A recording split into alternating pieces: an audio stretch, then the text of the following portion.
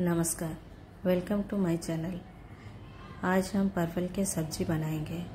परवल के सब्ज़ी बनाने के लिए मैं यहाँ पे 250 ग्राम परवल ली हूँ। अभी यहाँ पर मैं परवल को अच्छे से धोकर उसका पील निकाल रही हूँ।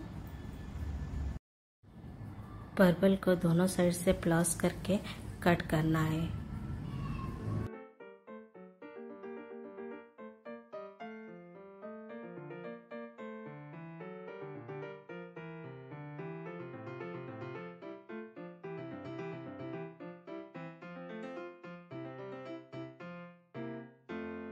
यहाँ पर एक आलू को छोटे छोटे करके मैं कट करके रख दी हूँ। ग्रेवी के मसाला बनाने के लिए मैं यहाँ पर एक टमाटर, एक प्याज, दो सूखी मिर्च, जीरा और सात से आठ काजू ली हूँ और इन सबको अच्छे से फ्राई कर दूँगी।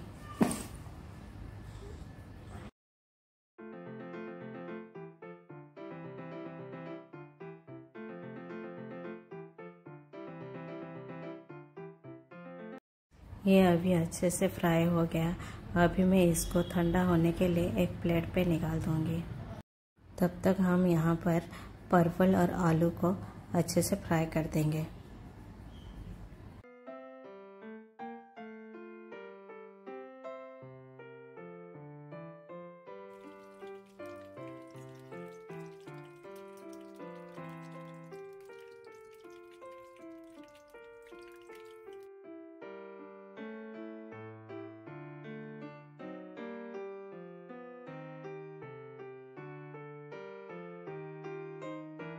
अभी ये दोनों हो गया है। अभी हम मसाला को ग्राइंड करेंगे।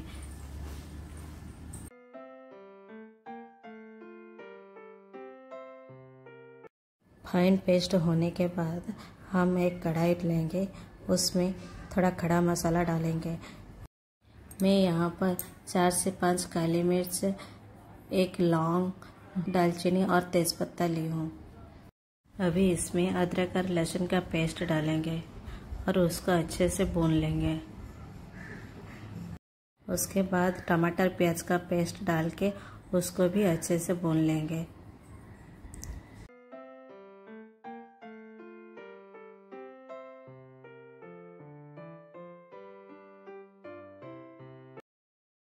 अभी मसाला ऑयल छोड़ रहा है तो इसी टाइम पे हम यहाँ पर हल्दी पाउडर, लाल मिर्च पाउडर, जीरा पाउडर, धनिया पाउडर और थोड़ा गरम मसाला पाउडर डाल के उसको अच्छे से मिक्स कर देंगे।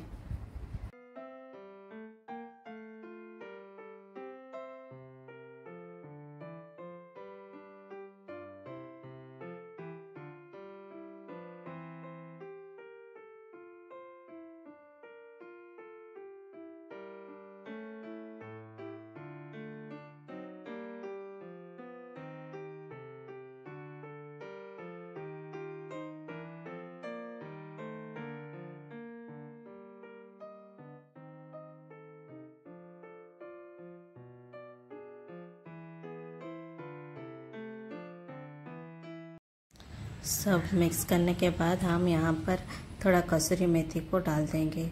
इसमें अच्छा स्मेल आएगा।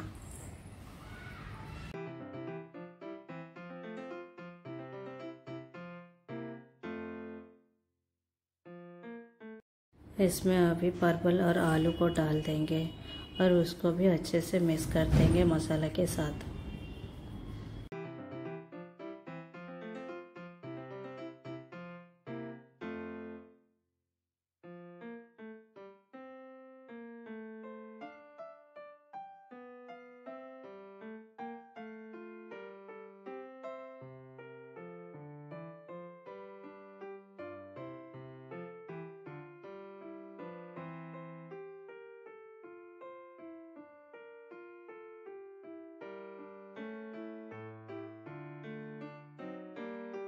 यहाँ पर हम गर्म पानी डालेंगे।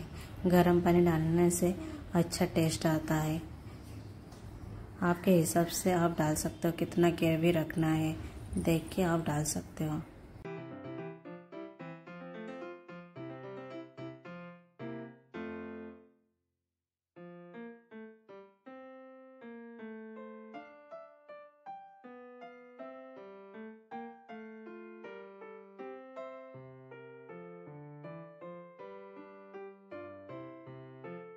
अभी ये बन के रेडी हो गया है। हम यहाँ पर धनिया के पत्ते डाल के इसको गर्मा गर्म सर्व करेंगे। आप इसको रोटी और राइस के साथ भी खा सकते हो। अगर आपको मेरी ये वीडियो अच्छी लगी तो आप मुझे लाइक शेयर एंड सब्सक्राइब भी ज़रूर कीजिए।